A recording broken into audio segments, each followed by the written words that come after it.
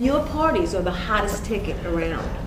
They won't even give me a permit for the parties, man. They don't want me to throw the parties no more. But we, we ain't gonna stop. we gonna keep on having fun, bringing people together from all walks of life. You're gonna hear about my parties. They're gonna be shutting them down. They're gonna probably be arresting me, doing all types of crazy things just because we wanna have a good time.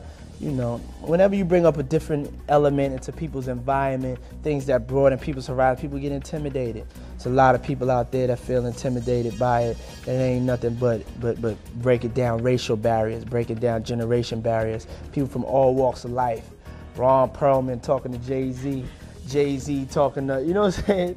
It just goes on and on. You know, it's just it's just like people from all walks of life connecting and getting together.